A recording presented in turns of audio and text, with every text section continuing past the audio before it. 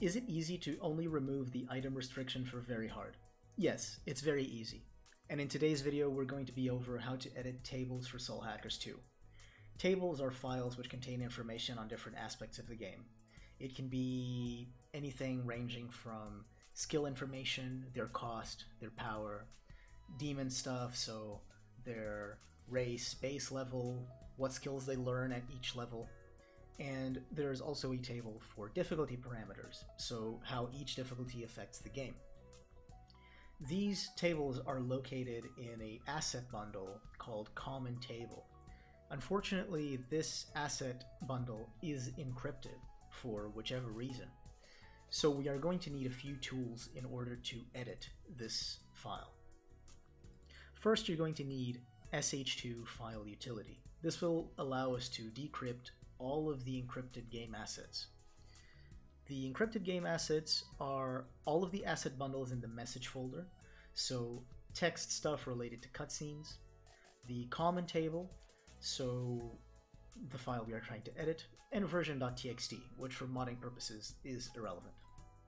Once the file is decrypted, you are going to need UABE Avalonia. This will allow us to open the asset bundle, see what's inside, extract the parts we need, modify, repack, and save to use in the game.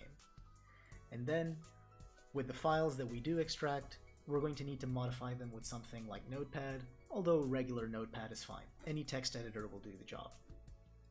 So, first we need to get the file. We go to Steam and the first step is to verify that the tables we have are the vanilla tables.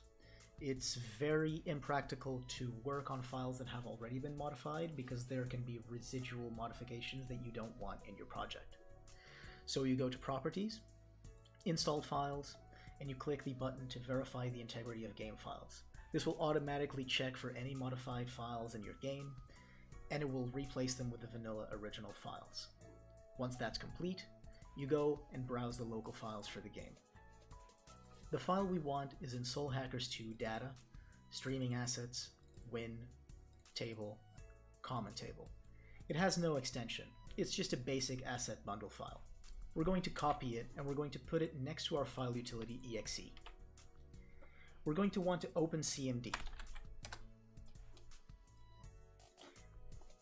Once CMD is open, you're going to want to direct CMD to the file utility exe. We drag it in, and we write the command crypt. We then drag the file we want to decrypt, and then we specify an output. The, a simple way to specify an output is simply just dragging it back into CMD, and then adding .dec to the end of the output's file name. You press enter and it creates this decrypted copy. This decrypted copy can then be opened with UABEA. You open it, and then it asks you if you want to decompress it to file or memory. The file is only 3 megabytes large, so you can press the decompress to memory button, as it's small enough that it won't cause an issue. You press the info button to see a full list of everything that's inside this asset bundle. You can sort by name, and because we want to change the difficulty parameters in the game, we're just going to look for difficulty table, which we can then export as a dump. We're going to want to save it as a JSON. Once it's saved, we can open it in Notepad++. And as you can see here, we have all the information for every difficulty in Soul Hackers 2. It's organized from easy all the way up until the highest difficulty. So we have easy, normal, hard, very hard, and then the unused, undeveloped, ultra hard difficulty, which has the same parameters as very hard. We want to edit very hard, so difficulty 3. We're going to look through every parameter in difficulty and see what they do. The retry type is related to the original flame. Does the game go straight to the main menu, or does it let you revive? These four values here, I've never tested, it, but um, they are most likely related to the original flame as well. Uh, this one I have no idea what it does. and this one's only set to 1 in the very hard difficulty. Uh, this one here is the one that we actually want to edit. This makes it so that you cannot use items in the difficulty. But if we set it to 0, it no longer disables items. This is the parameter for the multiplier for how much damage the player deals, which in the case of very hard it's 0.5. In the case of uh, the regular hard difficulty it's 0.8. So you can see from looking at the numbers that very hard and hard, even without the item restriction, are not the same difficulty. mreflect PC uh, is the same for all difficulties, meaning that it never was used, and it determines the multiplier for reflect, uh, reflect, repel damage. Sabbath damage is a multiplier for damage dealt by the Sabbath. Weak damage and critical damage are self-explanatory, they go for both sides. So in the case of something like Persona 5 Merciless, it would be 3 for both of these values. And then you have the same for the enemy, damage dealt by the enemy, and reflect damage dealt by the enemy. Then you have bad status, which is the chance of afflicting an ailment, and it seems that this only uh, affects the enemy's side. So it's the chance of an enemy afflicting an ailment on the player. M escape is related to the chance of escaping an encounter. Sneak and surprise are related to the chance of ambushing an enemy or being ambushed by an enemy. EXP ratio is how much XP you get from a battle, although the exact formula isn't sure, as it's 0.25 on all difficulties except easy, where it's 0.5. Max enemy speed, or map enemy speed, is the, is the speed at which demons chase after Ringo in the overworld. It's 1.0 in all difficulties except easy where it's 0.8. If you change this to a really high value, as soon as demons find Ringo, they'll chase after her at the speed of light. Heal ratio is how effective healing is in the game. Uh, the value is the same for all difficulties, meaning that Atlus didn't touch it. And MP ratio is a modifier for the MP cost of skills. You can see that on the easy difficulty it's reduced by 50%, but is otherwise unchanged in every other difficulty in the game. And hit ratio PC is the accuracy of skills for the player. It's 100 in every difficulty, with the exception of easy, where it's doubled.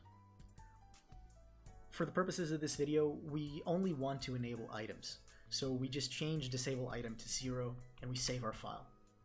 Once our file has been changed, we go back to difficulty table in the asset info window, and we import a dump this time.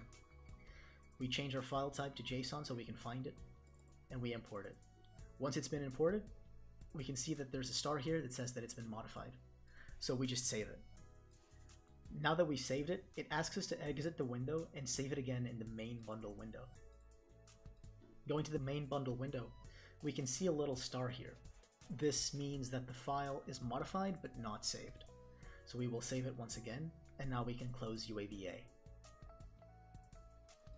We can see here that commonTable.dec now has a date modified that is equal to the current time. We're going to open CMD again, and we're going to do the crypt command, but in reverse. You drag file util over to CMD, and you type in crypt again. You drag in the decrypted common table file, and then the common table encrypted file that you want to modify slash replace. But then you need to specify that you are encrypting a file. So you need to type dash m space asset enc. This specifies that the mode you want to use is asset encryption. And you're done. The file is encrypted. You can now copy it and go to the game files. And you can replace it. We can now open Soul Hackers 2 to test our changes. Now that we're in Soul Hackers 2, we can open up the menu and go to System and Config we can go to the gameplay settings and check that we are in the very hard difficulty. We now walk around and look for an encounter.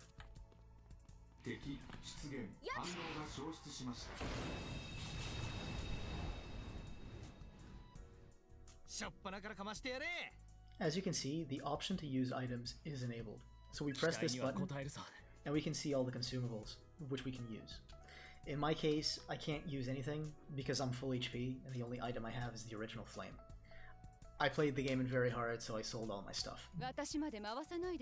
But it shows that we can now use items in the very hard difficulty, which was the objective for this video. You can look around the common table file and find any table with stuff that you would like to edit. For example, some stuff that you might want to change is stuff related to skills. So skill table would have all of the parameters for skills, their damage, their element, stuff like that. Or for example, if you'd like to change demon related stuff, the table would be uh, Nakama table. This contains all the information about demons. So for example, if you'd like to change the affinities of a demon, or make it so that they natively start with different skills, for example, a 4 element Anubis with Persona 5 Royal affinities, you can do that. It's up to you to experiment and see what you can edit in Soul Hackers 2. Have fun modding the game.